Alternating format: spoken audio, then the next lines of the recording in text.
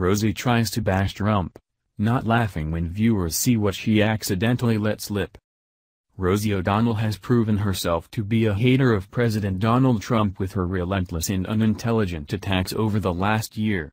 Unfortunately for her, things most recently blew up in her face as she tried to bash the president just one more time, and let's just say she wasn't laughing when viewers saw what she accidentally let slip the relationship between Rosie and Trump has been tenuous for quite some time.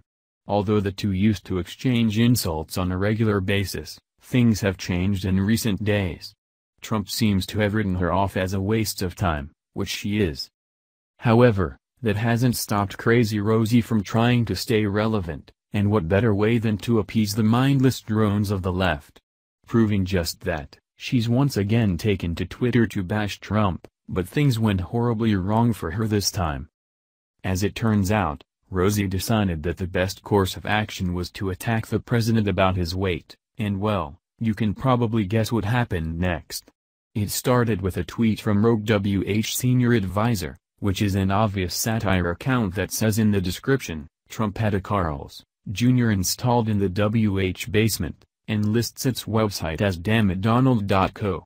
Everything about it screams fake, because it is.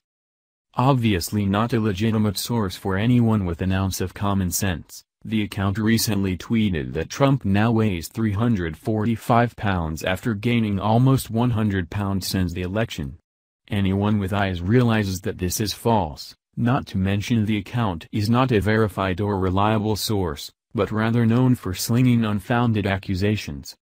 A 100-pound weight gain would be apparent to the naked eye and not need to be relayed via a tweet. But, that didn't stop Rosie from sharing some more fake news. It seems that Rosie's worst mistake was deciding to attach a simple three-word message meant to bash Trump, but she wasn't laughing just a few moments later. Making sure to add a bunch of irrelevant hashtags, Rosie simply wrote, 345 pounds, Trump is obese. Oh a bad for her, that was the kindest way people confronted her about the senseless and likely inaccurate remarks, Twitchy reports. As it turns out, Rosie accidentally left the opportunity for a little bashing about her own figure slip out with the word she used to attack Trump. You would think that it would be common sense not to mock someone for being fat when you have your own issues with weight. At the end of the day, Rosie's Twitter profile picture shows just how insecure she really is about her looks. We all know that's not what she looks like. That's the result of heavy makeup and or photo editing and filters to get a picture that flatters her face in the best possible way, and it's still rough with all that work.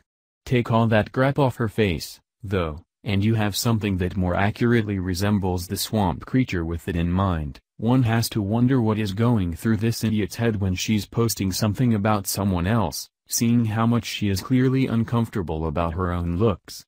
Of course, this is liberalism in a nutshell and why so many people have come to believe that the ideology more accurately resembles a mental disorder than anything else.